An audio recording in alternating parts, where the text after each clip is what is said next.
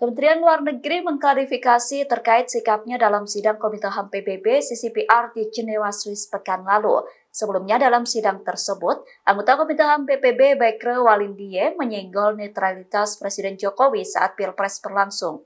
Namun pada saat itu perwakilan RI tidak menjawab apa pun terkait pertanyaan dari anggota Komite HAM PBB. Perwakilan RI malah mengalihkan dan menyampaikan topik lain.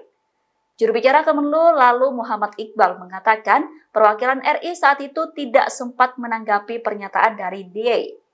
Menurut Iqbal, perwakilan Indonesia tidak sempat menjawab karena masalah waktu.